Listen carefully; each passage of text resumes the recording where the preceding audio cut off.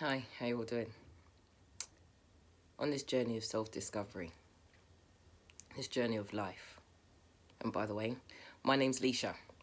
How you all doing? Thanks for joining me. Please like, share, and subscribe, and um, check out some of the other stories on my channel.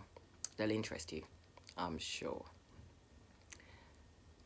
I'm actually sitting here thinking about poverty and wealth. And it's actually kind of a bit of a deep one.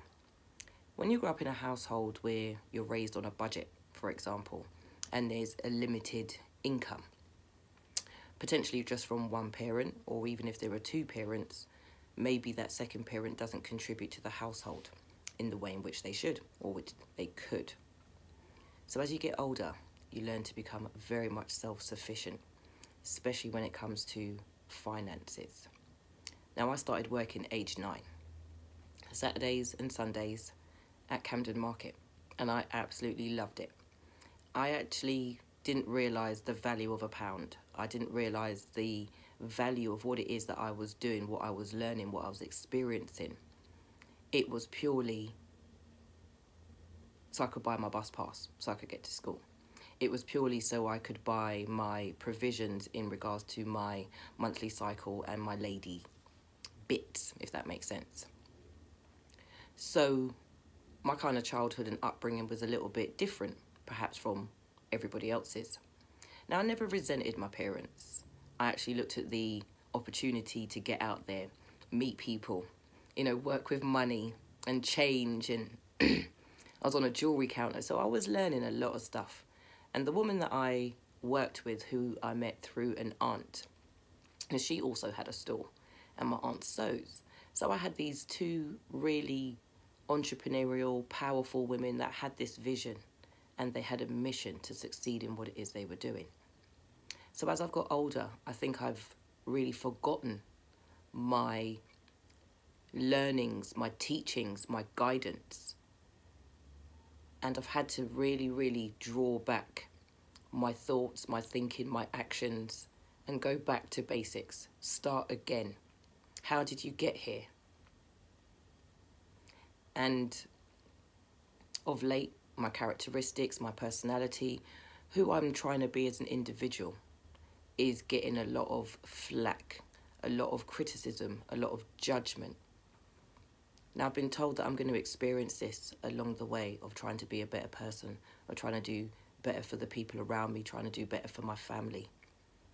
Because a lot of people are working from their own insecurities, their own fears, and their maybe their ego is getting in the way of looking at what it is that I'm trying to do for myself. The fact that I'm conquering my fears, I'm facing my fears, I understand my triggers, I know the sorts of things that set me off a certain way, and I'm doing things around me to build a better future for myself, to ensure that, you know, potentially my retirement per se, you know, is comfortable, where I don't have to be one of those people who are out there working, you know, to make ends meet, where I'm living on, you know, a pension or a, a monthly income that is nowhere near what it is that I'll need to survive. So on that journey of self-discovery, on that journey of finding self and finding your purpose and fulfilling your purpose, it's going to be lonely, it's going to be hard, it's going to feel like you want to give up, you want to quit, but who are you really quitting on? You're quitting on yourself. Leisha. So please, all it is that I ask is that we all try to be better people. We try not to judge others from our own perspective and experiences. We try to see that someone is doing something slightly different that's uncomfortable and maybe that they need support because there's nobody around to champion where it is you're going that it sees that you're brave to actually take those steps forward to do something different.